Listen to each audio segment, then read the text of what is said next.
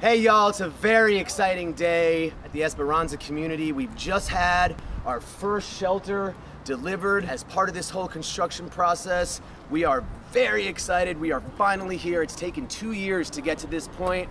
And you know, so often when we talk about homelessness in our community, what we see at every turn is no.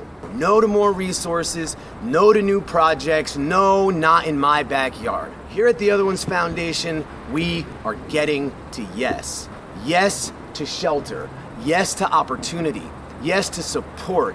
Yes to a future where all people have equitable access to these life changing resources. I can't express enough how much effort went into getting us to this point.